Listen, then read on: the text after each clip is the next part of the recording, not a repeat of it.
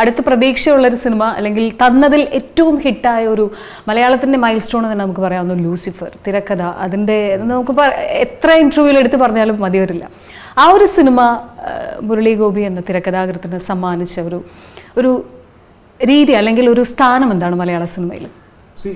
എപ്പോഴും ഒരു വിജയം വലിയ വിജയം. ഇപ്പോൾ ലൂസിഫർ പോലൊരു വലിയൊരു ഒരു ലാൻഡ്മാർക്ക് വിക്ടറി വരുമ്പോൾ അതിനെക്കുറിച്ച് നമ്മൾ പിന്നെ ഒന്നും സംസാരിക്കേണ്ട ആവശ്യമില്ല എന്ന് പറയുന്നത് തന്നെയാണ് ആ വിജയത്തിന്റെ ഏറ്റവും വലിയ വലിപ്പം. തീർച്ചയായിട്ടും.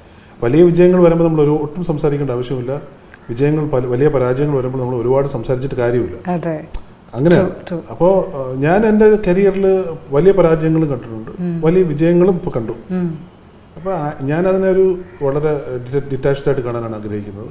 I'm extremely thankful for both കാരണം ഇത് രണ്ടും രണ്ട് ലെസൺസ് വന്നിട്ടുണ്ട് പരാജയങ്ങൾ അതിന്റെതായ ലെസൺസ് വന്നിട്ടുണ്ട് വിജയങ്ങളും അതിന്റെതായ ലെസൺസ് തന്നിട്ടുണ്ട്.